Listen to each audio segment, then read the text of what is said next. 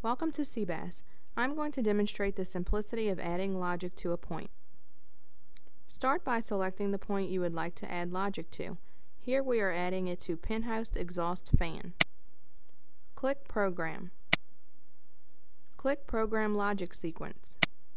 This is a logic we will use to turn the penthouse fan on when the temperature is above 75 degrees and off when the temperature is below 75 degrees.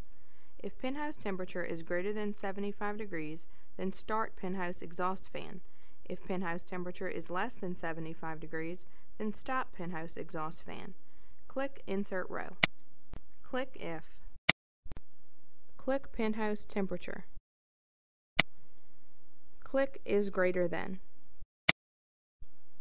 Then type 75 and press Enter. Click Then. Click Start. Click Penthouse Exhaust Fan. Now click If. Click Penthouse Temperature. Click Is Less Than. Then type 75 and press Enter. Click Then.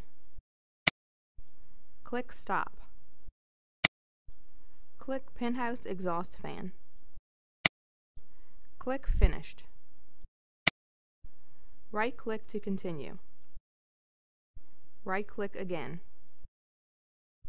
You have just added logic to a point, and you are done.